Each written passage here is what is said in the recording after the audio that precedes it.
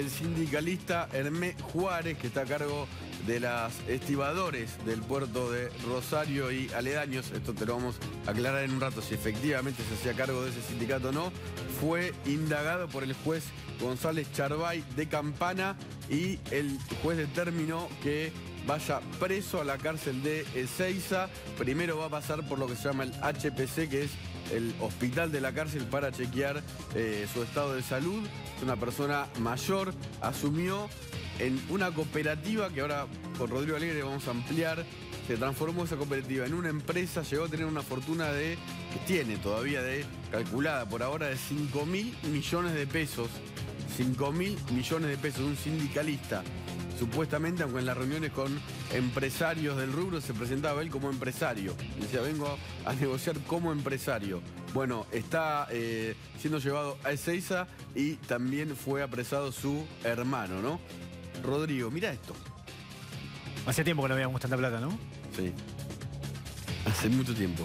Juárez, eh, este es el hermano, perdón, que fue a, va a me rectifico, y Juárez está detenido en su domicilio porque tiene 78 años. Iván eh, Daniel Juárez es miembro de la cooperativa del Puerto General San Martín junto a su hermano, digamos. Estamos hablando de Hermé Orlando Oscar Juárez. Los dos están detenidos. Esto es, eh, son imágenes del día de hoy. Son 31 allanamientos los que ordenó el juez Adrián González Charbay en una investigación que también lleva adelante la Fiscalía eh, de Campana. La maniobra, el delito es eh, lavado de dinero, se le suma la extorsión, se le suma también la malversación de fondos. Prácticamente, eh, a ver, digamos, para resumirlo brevemente, el secretario general del Sindicato Único de Portuarios de la Argentina, Hermé Orlando Juárez, y también presidente de la Cooperativa de Trabajadores Portuarios de General San Martín.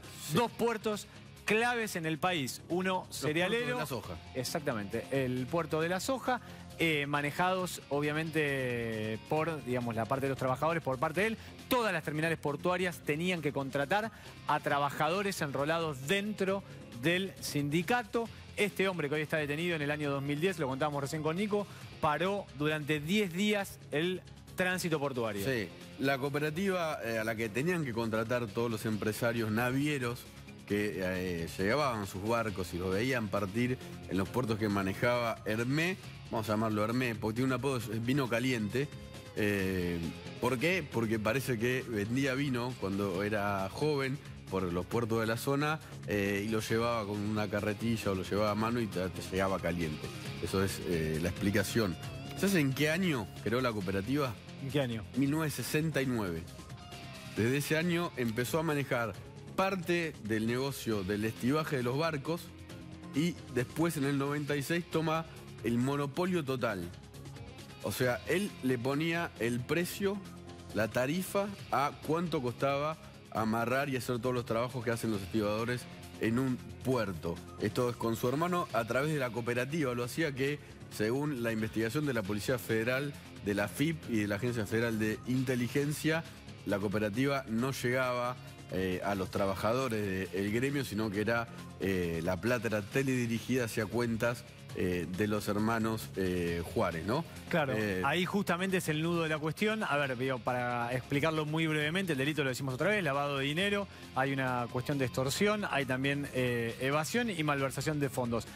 ¿Cómo era? Este señor, Hermé, lo que eh, él era el secretario general del gremio, pero también era el presidente de la cooperativa, y la cooperativa lo que tenía era una serie de descuentos para las personas que trabajaban dentro del puerto, para los afiliados a la cooperativa. Dentro de la cooperativa todos tienen que tener el mismo salario. Eso no pasaba, funcionaba como una empresa y la plata que recibía eh, esas cooperativas, lo que hacía Hermé junto al resto de los integrantes que hoy están detenidos eh, por parte de la justicia era invertir ese dinero en maniobras de lavado de dinero. Estamos hablando de compra de inmuebles en el exterior y en la Argentina. De hecho, y esto también es una información, eh, hay un pedido, un exhorto por parte del juez que interviene en la causa para que eh, en Uruguay allanen y le congelen los bienes que tiene en, del otro lado del río de la Plata, en Uruguay. ¿Cuántos?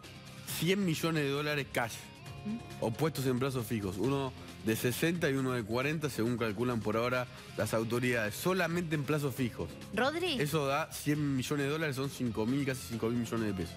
Rodri, eh, hay algo que vos mencionabas eh, hoy más temprano, cuando por supuesto la noticia era eh, absolutamente de, último momento, la, este, la detención de, de Herme. ahora me pregunto, ¿está alcanzado por la figura de enriquecimiento ilícito tratándose de un representante gremial? No, ahí eso es una deuda, si se quiere, por parte de la legislación. Hay toda una discusión ahí sobre si hay un enriquecimiento ilícito, porque entiende parte de la justicia que los fondos que manejan los sindicatos no son eh, fondos públicos, digamos. Eh, aunque si uno lo mira, digamos, depende de, qué lado de la biblioteca uno se pare, hay algunos que dicen que sí son fondos públicos porque pertenecen a los servicios eh, de la salud, por ejemplo, las obras sociales son recursos que transfiere el Estado, y hay otros que dicen que no, eh, que son fondos que aporta cada trabajador de manera personal a través de una empresa este, privada a su propio gremio. Pero en este caso, lo que le están imputando a él es el lavado de dinero, pero sí que él tenía la cooperativa. Pero el delito precedente es haberse quedado con plata de los trabajadores. El delito precedente es eh, la evasión, digamos, porque las cooperativas y las mutuales tienen exenciones impositivas y acá lo que está diciendo la investigación es que la cooperativa funcionaba como una empresa, que no era, una, no era un lugar donde todos tenían eh, el mismo salario, todos recibían la misma plata y todos manejaban los mismos montos. Acá está diciendo la justicia, por lo menos es la hipótesis de la justicia, que la plata mayor que producto de la evasión y producto de las maniobras que hacía Hermé con su familia, invertía ese dinero en beneficio propio. ¿En dónde? En un departamento en Punta del Este, en embarcaciones, en aviones, en jet, en automóviles. Secuestraron ahí Audi, acá estamos viendo algunas de las fotos. 31 allanamientos, 7 detenidos. Eh, y lo que hacía con la cooperativa en realidad era una empresa.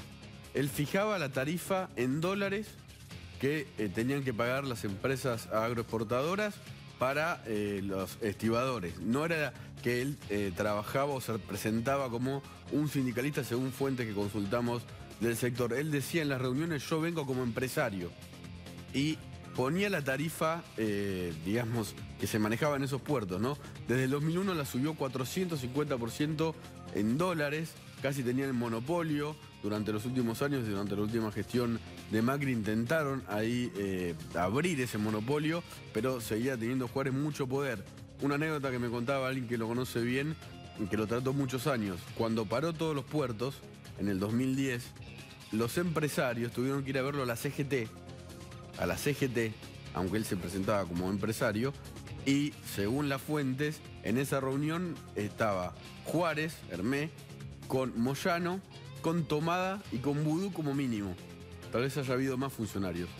Los empresarios llegaban y Juárez les iba diciendo a Moyanito, Moyanito este es tal de tal empresa, y así le iba poniendo la tarifa, él era como el dueño de los puertos y llegó a juntar esta fortuna eh, increíble. Estamos viendo plata, plata, plata. Estamos viendo un billete de 500, euros. euros.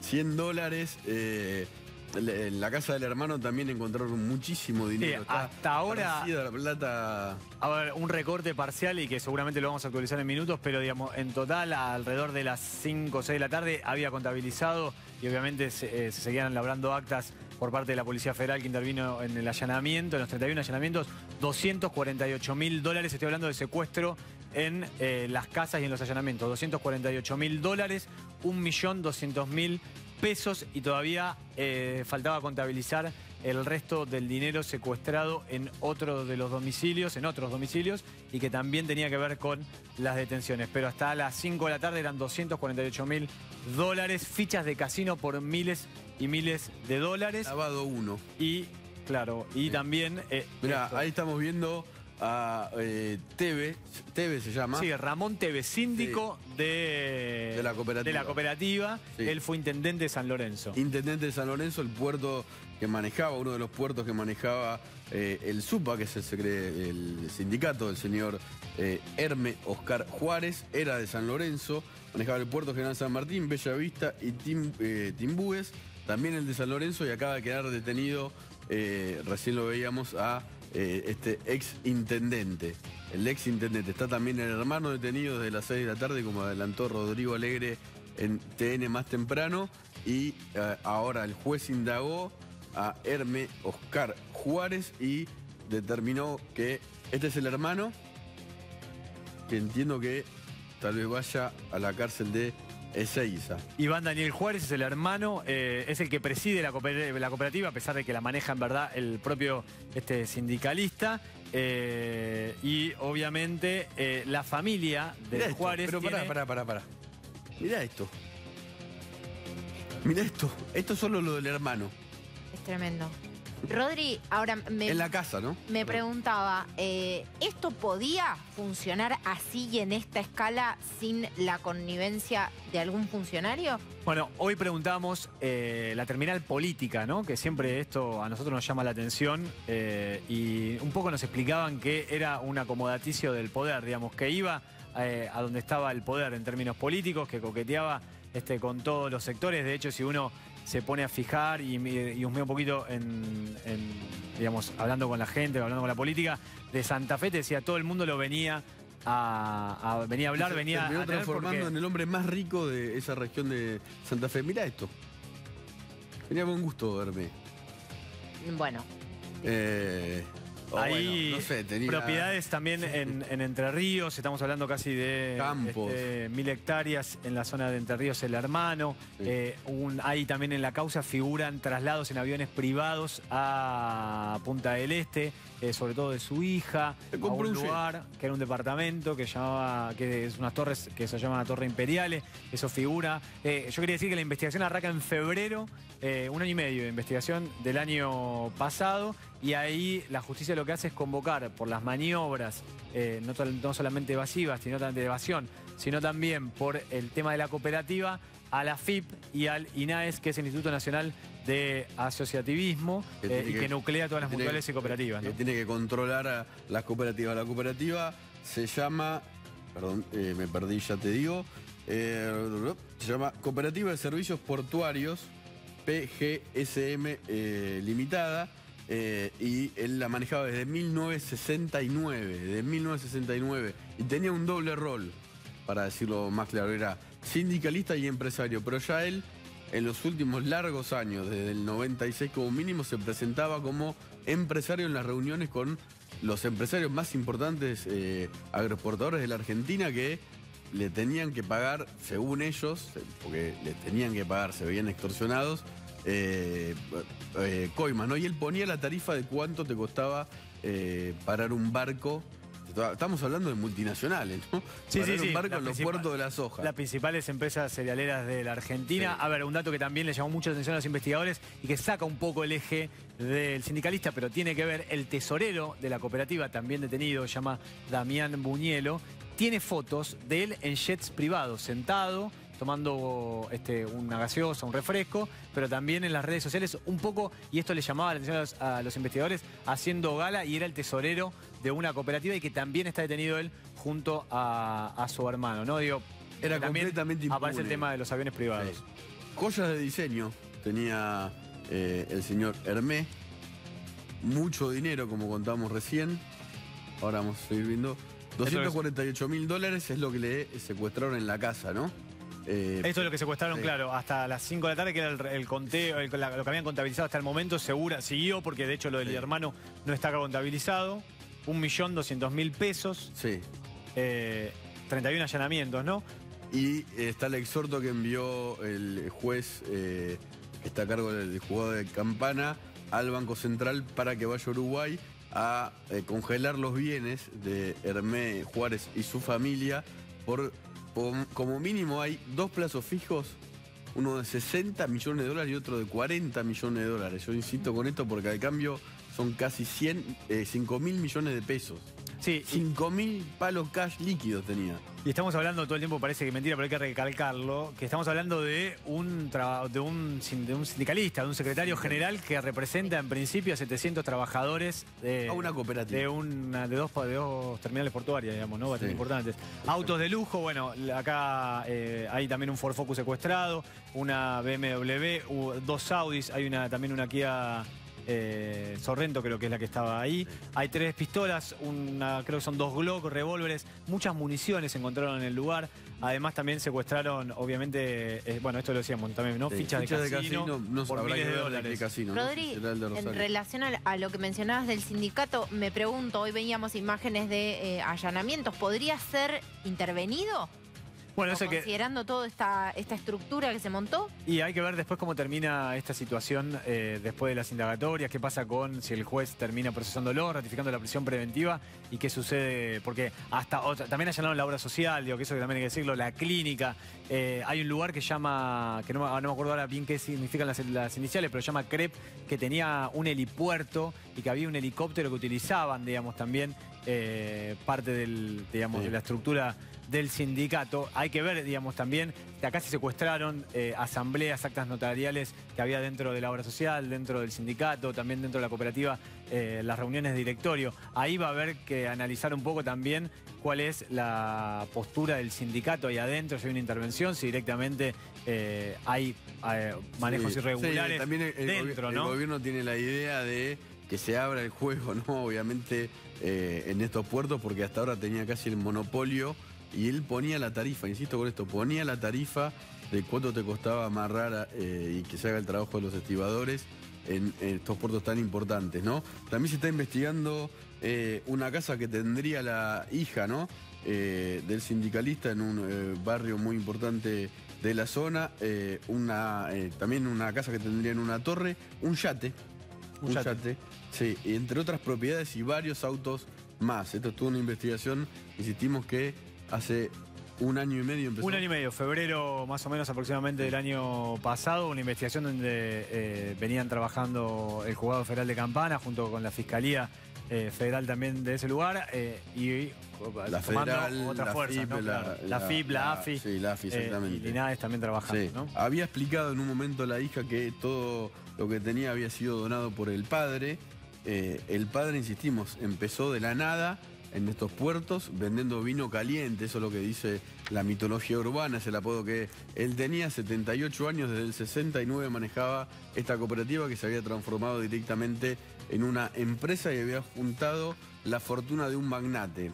Antes Caro preguntaba muy bien por los contactos políticos y desde el 96 hasta ahora debe haber tenido contactos obviamente con todo el mundo. Está detenido el ex intendente de San Lorenzo, se supone porque formaba parte del negocio. Esto es una piñata de dinero impresionante. Estamos hablando que le ponía la tarifa a las grandes empresas agroexportadoras eh, del mundo y de la Argentina, ¿no? Que trabajan en la Argentina. Hasta ahora los detenidos, para repasar brevemente los nombres, eh, los mencionamos recién, Pablo Luis Buñuelo, Damián Luis Buñuelo, Damián era el tesorero, es el tesorero de la cooperativa, Hermé eh, Oscar Orlando Juárez, el secretario general del Sindicato Único Portuario y presidente de la Cooperativa de Trabajadores Portuarios, eh, Hernán Mario López, Ru- Ramón Rubén Tevez, el síndico que mencionamos y que veíamos recién ahí, Iván Daniel Juárez, el hermano que presidía la cooperativa, y eh, por último, Jorge Ramón Jerez. Son hasta ahora las Sí. personas que están detenidos, secuestraron netbook, bueno, tablets, y- celulares, cheques, eh, chequeras, libros de asamblea, actas y aranceles, actas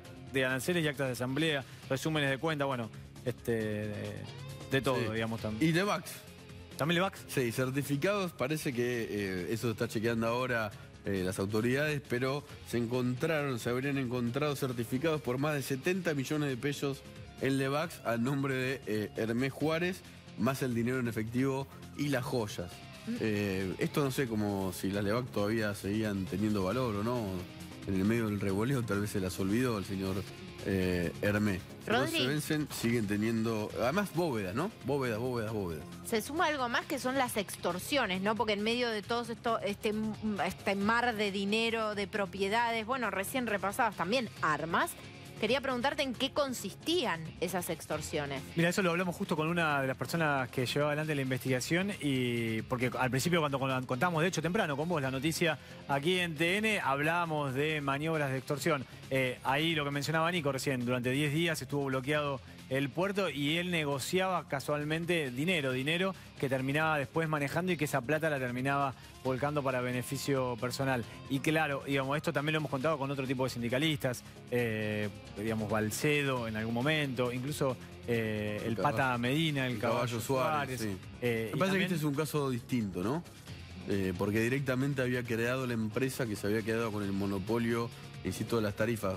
Repasemos cómo era entonces eh, la recaudación. Él, eh, supuestamente, señor Hermés Juárez, no, supuestamente no, era el secretario general del gremio SUPE, eh, de los estibadores de estos puertos, de la región de Rosario, San Lorenzo y Timbúes, entre otras, pero al mismo tiempo era presidente de una cooperativa y lo que hacía era sentarse con los empresarios de los que manejaban los barcos agroexportadores que llegaban a ese puerto y le decía la tarifa que tienen que pagar por cada barco es tanto, en dólares.